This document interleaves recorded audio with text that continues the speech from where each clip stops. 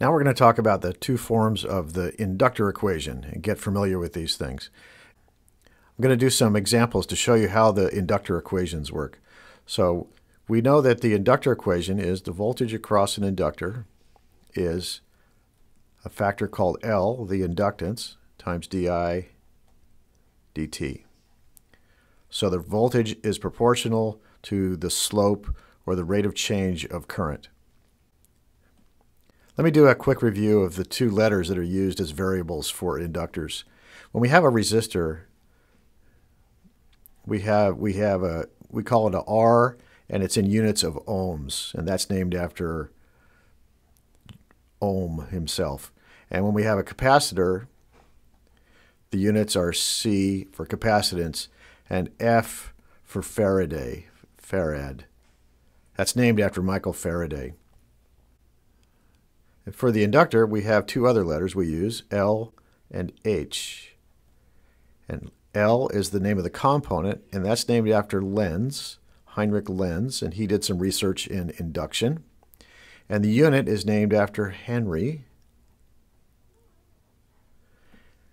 And so that's the corresponding R, C, and L are the names of the components, and ohms, farads, and henries are the units. Okay, let's get back to our inductor. There's another form of the inductor equation where we write it in terms of just I in terms of V. And to get to that point, we need to get rid of this derivative here. So what, we, what I'm going to do is take the integral of both sides of this equation. So we take the integral of V with respect to time, and that equals L times, take the integral of di dt with respect to time. And these two terms go away, and we have the integral of di. The antiderivative of di is, is what, it, what function has a derivative of di, and that would be just i. So let me flip this all around here now. I'm going to write i on the left side equals 1 over L times the integral of v dt. Now we always put limits on this integral, so the limits in this case are time is goes from minus infinity till some time now. And this tells us that the, uh, that the current through an inductor depends on the voltage across that inductor for the entire life, all the way back to time equals minus infinity. And that's not so convenient. We don't want to track this the inductor's voltage back that far in time. So what we'll do instead is we'll we'll say let's say at t equals zero that we know the volt that we know the current that we know some we know some i of zero. And then we can change the limits on our our integral here to be zero on the bottom. 1 over L integral from time is zero Uh, until now, time t, big T, of v of t times dt. In order to account for everything that's happened before time equals zero, we'll just say what was the current at time equals zero. So that's I of zero.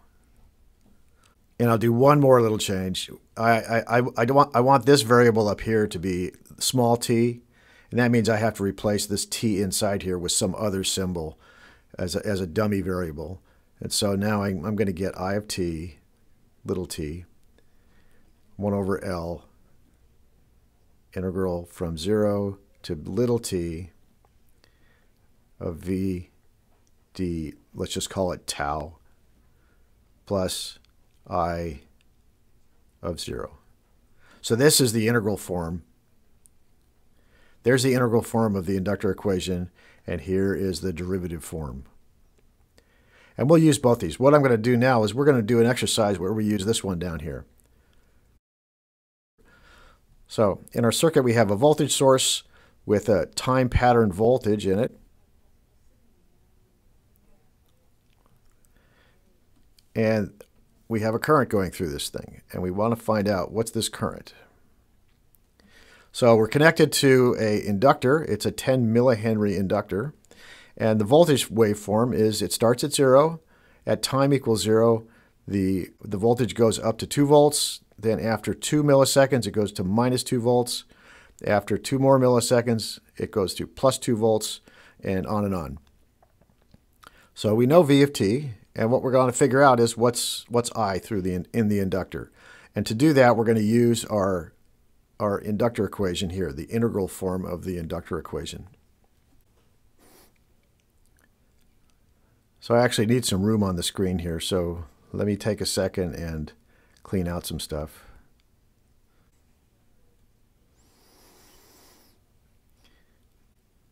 Okay, we're ready to go. So let's look at what's going on here before time equals zero. So in the before state, we're going to make an assumption. We're going to assume that I is zero a long time ago.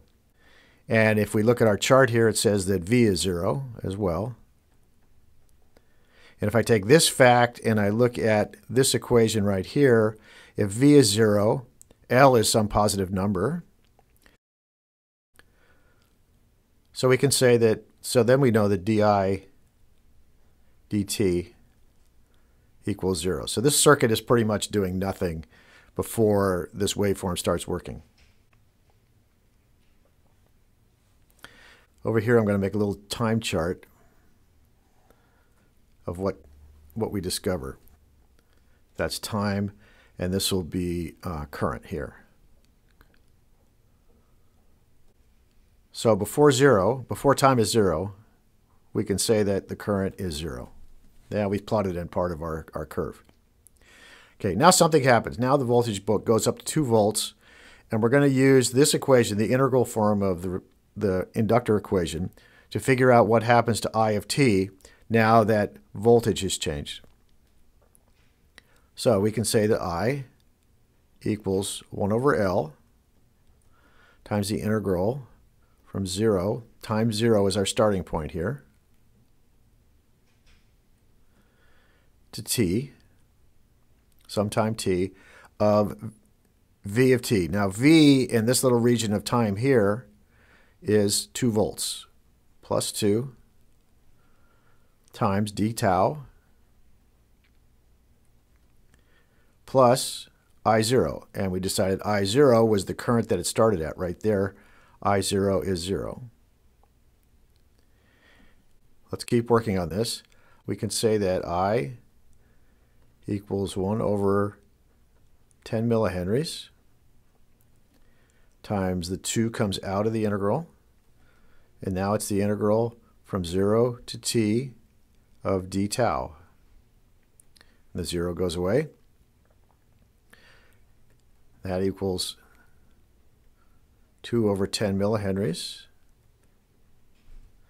times what? What's this integral evaluate to? It evaluates to t.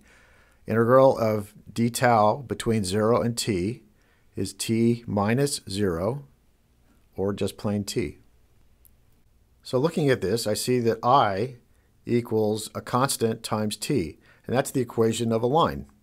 That's the equation of a line if I plot it on t and i. So 2 over 10 millihenries is the slope. And to plot that line, what I need is two points on the line. I know one of the points already. I know one of the points is going to be right there at 0, 0. What is the current at the end of this pulse here? So at 2 milliseconds, let's figure out what the current is and that equals, at 2 milliseconds, it's 2 times 2 milliseconds divided by 10 millihenries. The millis cancel themselves out, and I get 4 over 10, or 0.4, what, amperes. So at 2 milliseconds, the value of the current is 0.4 amperes, and I can draw a straight line between there. So now we have the value of the current during this first excursion, this first part of the voltage waveform. Now we're going to switch again. Now we have a new I0. Let's, let's go to a new point here. Let's go to a new point at now we have I, I0 equals 0.4, and we have V equals what? Now it goes to minus 2 volts. Minus 2 volts. So let's use our inductor equation one more time with these, with these uh, initial conditions. That tells us I equals 1 over L integral from, what's the new point? 2 milliseconds to t. And v of t after 2 milliseconds is minus 2 volts, minus 2, d tau, plus, now we have a starting current. Our starting current was 0.4 amps, 0.4 amps. And let's continue on here. Let's, uh, maybe you can squeeze it in here. I equals 1 over 10 millihenries times minus 2 times the integral, the integral from 2 milliseconds to t of d tau plus 0.4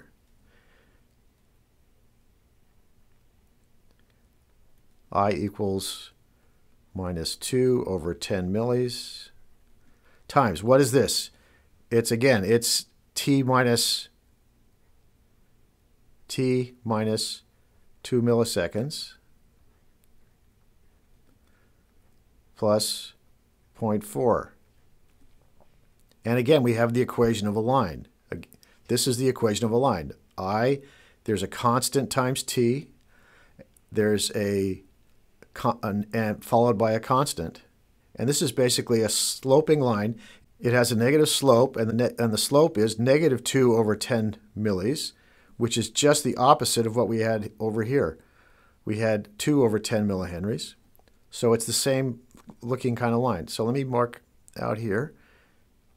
Here's 4 milliseconds.